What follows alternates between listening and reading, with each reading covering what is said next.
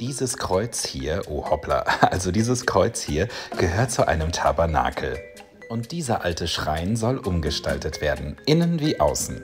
Die Kundin, eine Künstlerin, liebt religiöse Kunst und Kitsch und wünscht sich ein anderes Gelb für außen und eine Beleuchtung innen. Da ich gleich mit Kreidefarbe streiche, schleife ich den alten Lack nur an.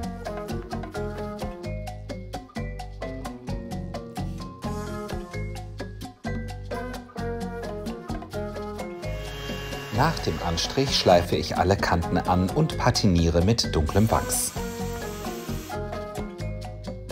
Und mit einer batteriebetriebenen Lichterkette erzeuge ich einen Sternenhimmel.